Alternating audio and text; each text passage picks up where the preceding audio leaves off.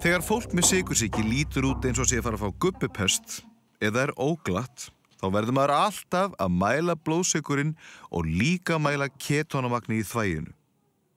Ef blóðsikurinn er hár og ketonar mælast í pissunni líka, þá er þetta líklega alls ekki guppupest.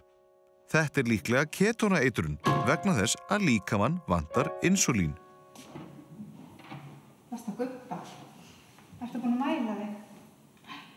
Gera það. Þá er mikilvægt að viðkomandi fái strax insulín og drekki mikið vatn til að koma blóðsikrunum í jafnvægi. Hvernig líður þér?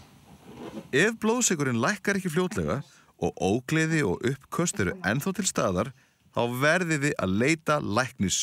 Ef viðkomandi er með ælupesti í alvörunni, þá þarf að gera breytingar á vennilegum insulínskamti, því sá veiki borðar minni mat en vanalega og þá er meiri hætta á sigurfalli. Það skiptir öllu máli að mæla oft blóðsikur og gefa marga smáa skamta af sigruðum drikkjum ef blóðsikurinn er lágur. Hérna, ég held að vera með stiksa þægið. Það getur pissað fyrir mig. Passið bara að viðkomandi neyti fæðu eða vögva sem inniheldur sigur til að forðast sigurfall. Einnig þarf líka minn orku til að vinna á veikindunum og starfa eðrilega.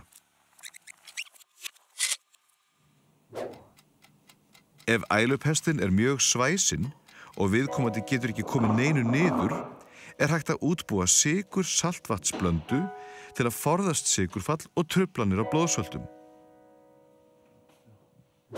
Fyrst og fremst má sigursíkin ekki gleymast í veikindunum. Íþróttadrykkir virka mjög vel því þeir innehalda bæði sigur og nöðsynleg söld. Þvertamóti skiptir öllu máli að halda blóðsigrunum í jafnvægi svo ekki skapist hættulegt ástand og líkaminn nái fyrr að jafna sig.